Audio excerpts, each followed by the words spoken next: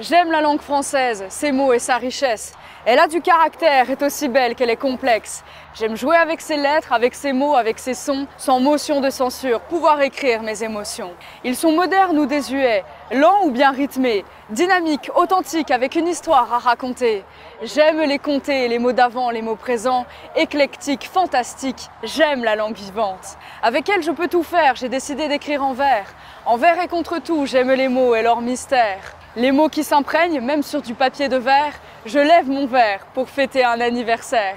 75 ans de jeu avec les lettres de l'alphabet, gagner des points tout en plaçant le Z, le M ou le B. Un texte de slam, c'est comme une partie de Scrabble, c'est l'amour des mots qui gravite autour de la table.